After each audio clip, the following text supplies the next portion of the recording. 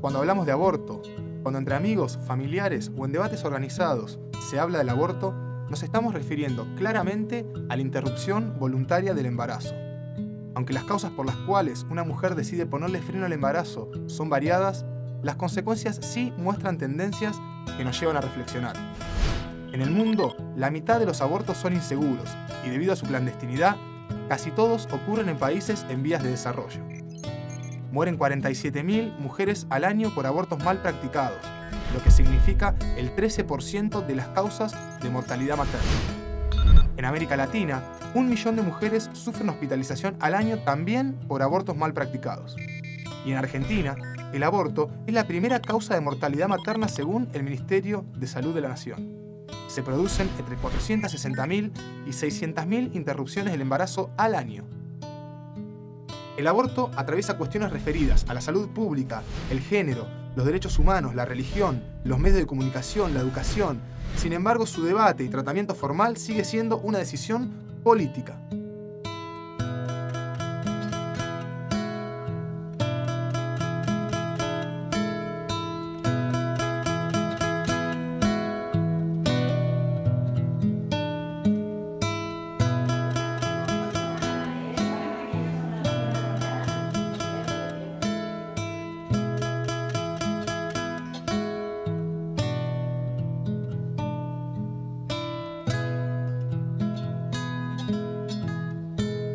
Entrevistamos a personajes de nuestro distrito que desde diferentes disciplinas y lugares sociales hablan de esto, del aborto como una realidad.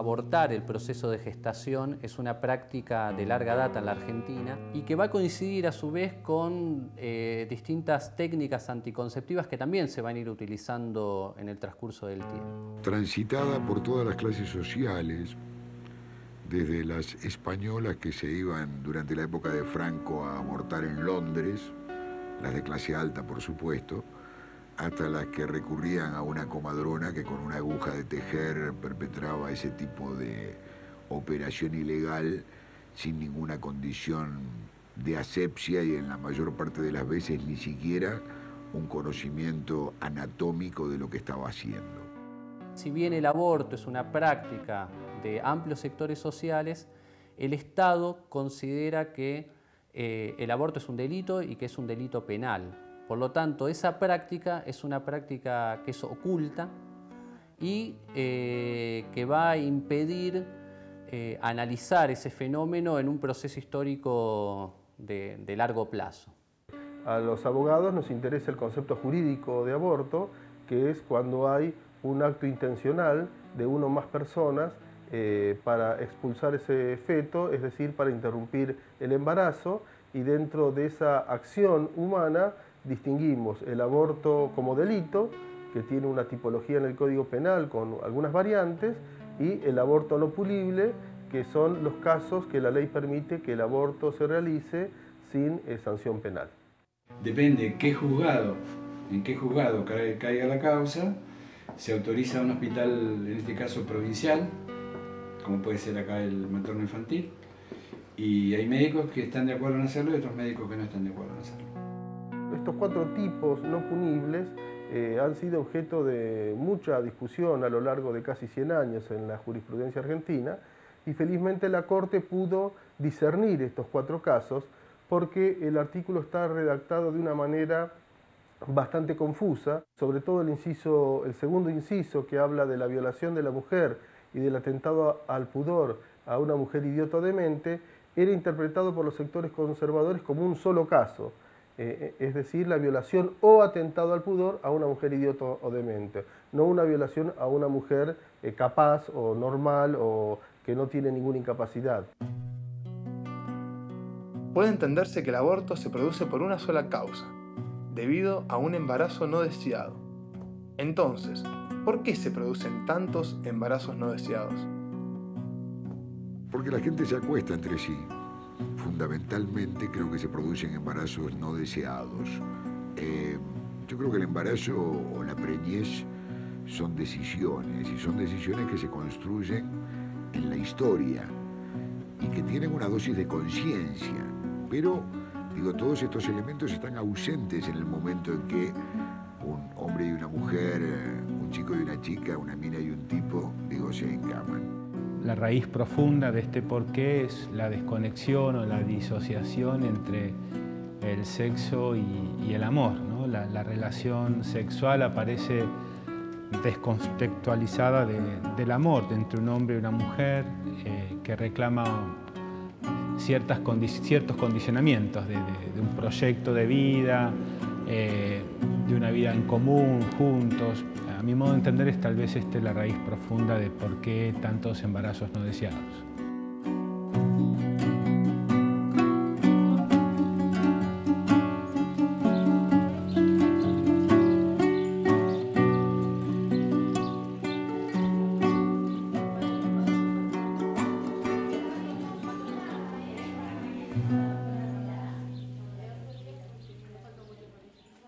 Falta de oportunidades, falta de, em, justicia, en realidad, justicia social en otras. Y tener un hijo es poder tener algo. Ellas me decían, es mi hijo.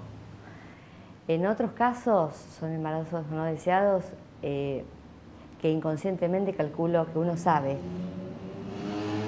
Entonces no, no termina siendo no deseado. Yo creo que estamos formando a un hombre con con genitales muy grandes pero con cerebros muy chicos. Y tal vez en esto eh, sea educar en, un eros eh, razonable, o precisamente la razón eh, reclama esta dimensión profunda del ser humano. Ahora se habla, y en muchos hospitales medianamente equipados, encontrás desde Dios hasta preservativos gratis este, y asistencia, digamos, en instancias incluso psicológicas desde el costado del Estado, algo que en otro momento hubiera sido impensable.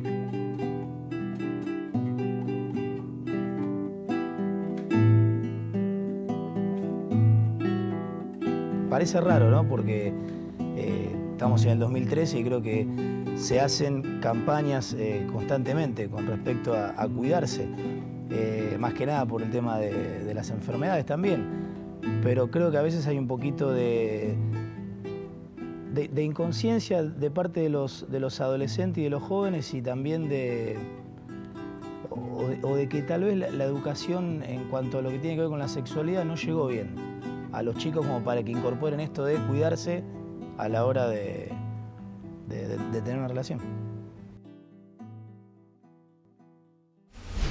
Pero, ¿qué es un aborto?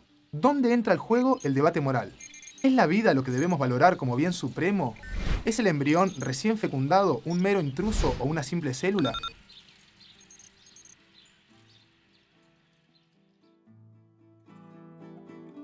Llegamos a un momento histórico en donde confluyen con contradicciones, con tensiones, dos eh, posturas ideológicas que a su vez se condicionan mutuamente. Por un lado, aquellos que defienden el carácter sagrado de la vida desde un primer momento de su concepción y por otro lado, aquellos que eh, plantean que tienen que existir políticas públicas implementadas del Estado que garanticen a las mujeres la autonomía frente a la decisión de procrear. Nosotros creemos que, que no se puede legalizar la muerte, porque a veces siempre, o sea, siempre eh, se viene haciendo y escuchamos que se hace hincapié en, los derechos de la madre. Que está perfecto y que es real y que hay que asistir a una madre, hay que el Estado tiene que garantizar la contención, el acompañamiento, eh, el darle una adopción o no, que es un tema muy engorroso en la Argentina, pero nadie habla, o muy pocos hablan, de los derechos de esa criatura. Podría ser un asesinato tener un hijo que uno no quiere, tenerlo a una edad en la que uno no está maduro, tenerlo porque fue producto de, algún momento y bueno, en realidad hay que tener una, madurez determinada y, una, y, una, y un deseo. Entonces, eh, bueno, la verdad es que yo pienso más en la mujer y en los derechos de la mujer y la libertad que tenga que hacer de, decidir lo que sea con su vida y con su cuerpo. Creo que en esto no para nada es un asesinato.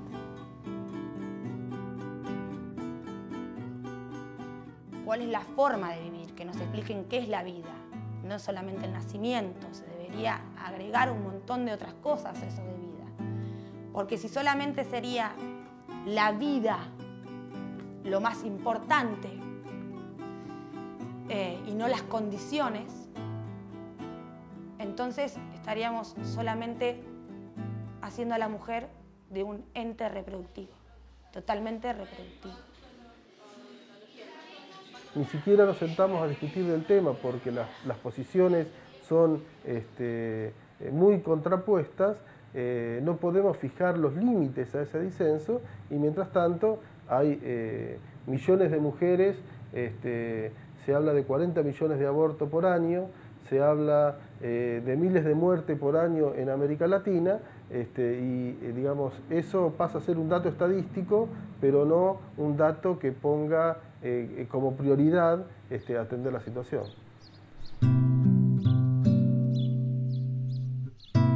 La iglesia porque cree en Dios defiende el valor absoluto de la vida, y porque defiende la vida y porque respeta la vida y porque ve en la vida una obra, en cada vida una obra original de Dios, es que la Iglesia se opone, en este caso, al, aborto, pero profundamente porque defiende un valor y lo considera como un valor fundante sobre el cual se apoyan el resto de los valores que recaen sobre, sobre el hombre. En mi propia historia figuran por lo menos dos abortos, digamos, de mujeres que estuvieron embarazadas estando en pareja conmigo hace estos muchos años. Este, y yo creo que fue una decisión justa en ese momento que lo hubieran practicado. Este, y si creo que algo es justo, creo que no puede estar penalizado. Desde lo económico ni hablar. O sea, desde lo económico vos podés solucionar el tema al otro día. Desde lo afectivo es una mochila muy pesada para cualquier mujer. Yo te puedo asegurar, eh, Francisco, que ninguna mujer desea hacerse un aborto. ¿eh? Ninguna. Absolutamente ninguna. Ninguna quiere pasar por el proceso de, terminar con con un saco gestacional, más allá que no se vea el embrión, porque sabe que eso después va a ser un embrión y después va a ser un feto y después va a ser un, bebé, va a ser un hijo. Y cuando lo hacen, la culpa es muy grande, o sea, no, termina solamente con este tema. O sea, la mujer pasa por un proceso donde instintivamente y genéticamente está formada para eso, para procrear, pero en ciertas condiciones. Y esas condiciones son las que uno como sociedad tiene que aceptar hay situaciones y condiciones donde no es el momento adecuado, no es el momento oportuno y muchas veces nosotros no somos quien para juzgar a una persona. Pensemos que este, el dato estadístico después nos refleja esta desigualdad, es decir, si por año mueren 80, 85 mujeres en la Argentina por abortos mal practicados, de esas 80, 85, 70, 75, 78 son mujeres pobres que generalmente ni siquiera son atendidas por personal este, médico. A ver, de que en los sectores más bajos es más proclive que haya muertes de mujeres que accedan al aborto de una forma clandestina. Y yo te digo, es todo un tema, pero no solamente restrictivo a este punto sobre el aborto. Nosotros tenemos una encuesta realizada de todo lo que es el NOA del noroeste argentino y es, pero de verdad que es devastador ver la cantidad de, mamás que mueren por mala praxis. Este, es muy triste. En lugares clandestinos, en casas de familias, en casas, en algunos lugares que existen acá, eh, corren el riesgo de infección, corren el riesgo de morirse, corren el riesgo de no poder tener más hijos en su vida. absolutamente desigual. Y sin duda tenemos que trabajar por una eh, sociedad más igualitaria, ¿no? para, que todos tengan eh, deberes y derechos disímiles. Lo que es cierto es que la valoración moral respecto del aborto es la misma en la clase baja, en la clase media y en la clase alta, ¿no? porque estamos hablando de un valor absoluto que es de la vida. El debate sobre el aborto traba la homogeneidad. Las tendencias de conservadores y liberales se confunden aquí, y dentro de cada partido político, instituciones religiosas, existen fuertes desacuerdos y conciliadoras estrategias. Si la Alemania Oriental mantuvo el aborto legal hasta la caída del muro, la Rumania de Ceausescu lo castigó con la muerte. Lenin lo había legalizado en 1922 y Stalin lo volvió a prohibir en 1936.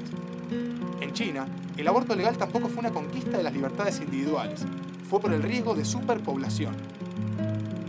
Perfeccionamiento de la raza, o eugenesia, sirvió tanto para prohibir el aborto como para permitirlo. Hitler lo condenó severamente entre los años, pero indiferente frente al aborto de judías o gitanas. El perfeccionamiento de la raza fue en la Argentina de 1913 el motivo para hacer la excepción a la penalización sobre abortos a mujeres con deficiencias mentales. Y acercándonos más a nuestros tiempos, es curioso lo que ocurre en nuestro país. Desde la restauración de la democracia, se presentaron más de 50 proyectos para legalizar el aborto.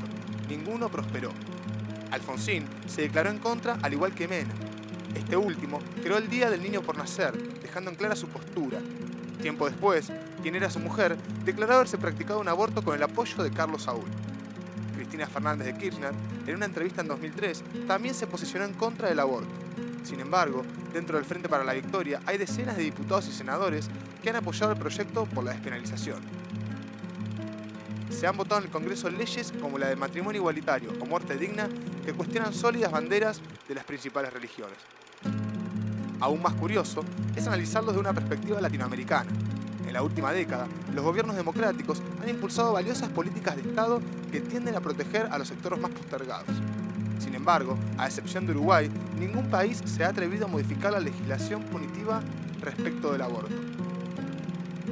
En 2013, el Concilio Vaticano eligió a Jorge Bergoglio como nuevo pontífice de la iglesia más representativa en el mundo latino, siendo el primer papa no europeo, ¿Cómo influye esto en la región en términos políticos de cara a la problemática del aborto? Lo desconocemos.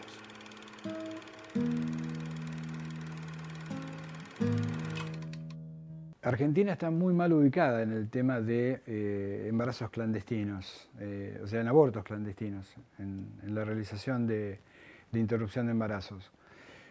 Te voy a decir el primer país. El primer país este, es Haití, el segundo es Jamaica y después viene Argentina. O sea, fíjate vos la, la, eso te hablo de ahora, de año 2013. La responsabilidad que nos compete como país en, salir de una estadística donde eh, a nadie le gusta estar. En, este país, afortunadamente, hay una ley que se llama de educación sexual integral, que ha sido muy bien debatida, que tiene que ver con el Ministerio de Salud de la Nación y también con el área de educación, por el cual es obligatoria en cada uno de los estamentos escolares, desde el periodo inicial del jardín de infantes hasta que termina el secundario, que haya actividades educativas que en, cada institución que tiene que ver con la promoción de la salud sexual y, salud reproductiva, educación sexual, en cada uno de los ítems. Este centro articula con todos los otros sistemas que hay dentro de Miramar. ¿sí? Articulamos con niñez, con infancia, articulamos con desarrollo humano, articulamos con eh, cualquier, con los hospitales, con las salitas y con las escuelas. En las escuelas lo que hacemos eh, son talleres de prevención, ¿sí? que se están dedicados a los adolescentes. Y ante la problemática montón de mujeres que se realizaban abortos, nos llega a nosotros la información de Grávida, eh, nos contactamos con Grávida Central que está en Buenos Aires y a partir de ahí empezamos a capacitarnos para poder hacer el centro acá en Miramar y en Necoche. Eh, por lo general, dentro de nuestra sociedad lo que se ofrece es el aborto como la salida más fácil. Nosotros lo que presentamos es otra alternativa. Se ofrece la salida del aborto, bueno, y Gravida ofrece la otra alternativa, que es la salida que se queden con su bebé. Nosotros ofrecemos ese acompañamiento. En el municipio nosotros trabajamos de la forma más articulada que podemos, educación con salud. Y es allí donde hay un programa, también creo que es nacional, eh, llamado médicos comunitarios. Estos médicos comunitarios están en los distintos CAPS y trabajan con las problemáticas de la gente que, accede a ellos o recorren ellos los barrios. Eh, los equipos de orientación de las escuelas, eh, sabiendo esto, se acercan y, trabajan junto con, el programa de médicos comunitarios y existe la prevención. Primero, desde la escuela en cuanto a lo que es la educación sexual integral, ya como ley obligatoria para trabajar. Y luego con salud con monitoreo. Esto no quiere decir que no haya embarazos adolescentes. Y acá no tenemos presencia más que en el hospital, que lo que decíamos hoy, se recibe el aborto en curso. La mujer no da más y al tercer o cuarto día, eh, por la hemorragia, por la fiebre, por desprendimiento que tiene de lo que sea en su canal ginecológico, requiere intervenciones, atención con tratamientos de infección, tratamientos de, terapia intensiva, etc. Así que no hay esa posibilidad. Es mínimo lo que nosotros vemos respecto de lo que sospechamos que ocurre.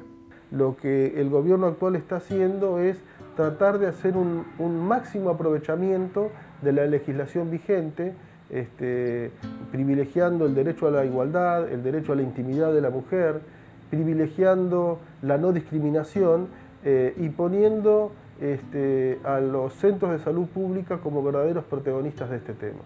Lo que no creo es que esos niveles de asistencia sean suficientes y no creo tampoco que los contenidos que los organismos de decisión pública impulsan lleguen realmente a la gente porque vienen filtradas todas las informaciones, todas las directivas, por una serie de estratos que no lo cumplen.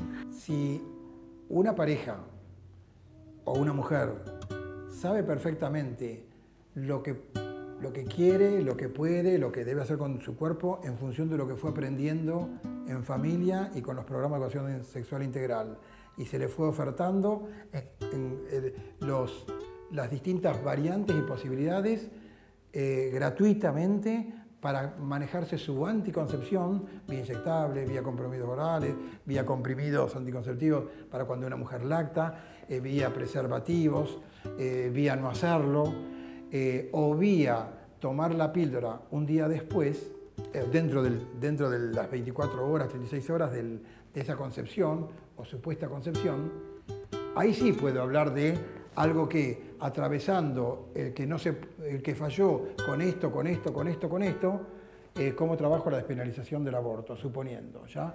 Como una vía de excepción porque hemos ido trabajando esto. La despenalización del aborto es que una mujer puede decidir por sí sola, que no haya ningún tipo de situación ajena a su decisión y a su elección de vivir o de su forma de vivir, más allá que a la que ella le compete que ella decida de su cuerpo y la ley no lo ampara. Todo lo que hemos recibido en alguna guardia, una paciente menor, negando que se haya hecho un aborto y sabiendo que con este síndrome de Mondor, así se llama, eh, cómo termina una paciente que se hace un aborto. Termina con una infección generalizada, con una insuficiencia renal lúcida, con tremendos dolores, y negando lo que ha hecho o lo que le han hecho. Entonces, desde ese momento, como médico, eh, nos nace indudablemente la participación y de alguna manera la responsabilidad como para poder asistir legalmente a los que por ahí no entienden del tema médico, este, hasta dónde está nuestro punto de vista biológico correcto y el punto de derecho de la mujer a decidir sobre su cuerpo y sobre su vida.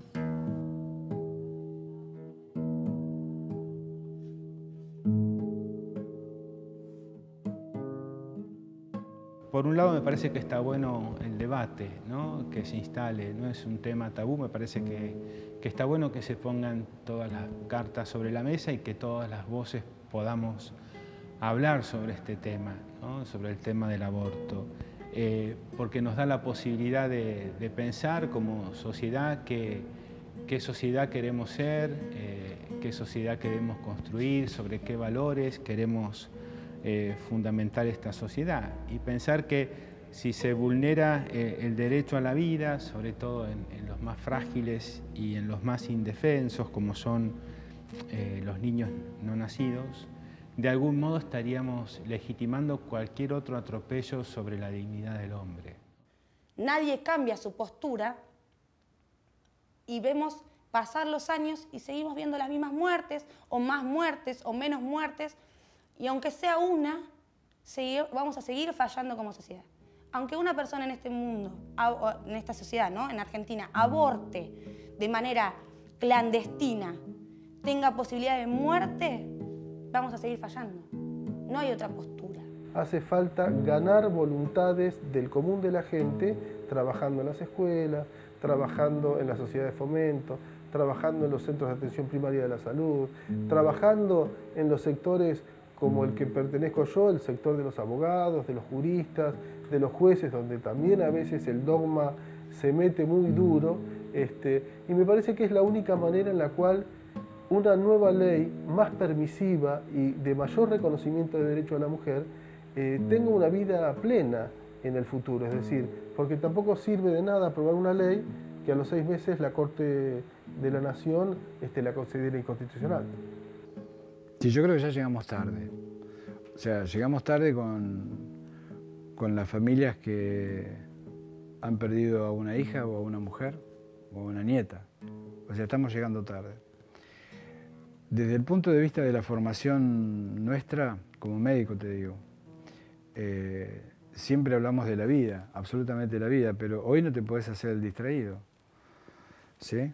Más allá de los dogmas y de las creencias, que cada uno las tiene, yo creo que bajo circunstancias especiales y formando equipos reales, eh, equipos reales de gente, de profesionales que entiendan el tema desde lo social y desde lo médico, eh, lo legal viene solo, ¿sí? Y va a ser un éxito para el país, porque desde lo parlamentario no es un, tema que, excluye votos o que pianta votos. Este es un tema que tiene que ver con, la vida y la muerte.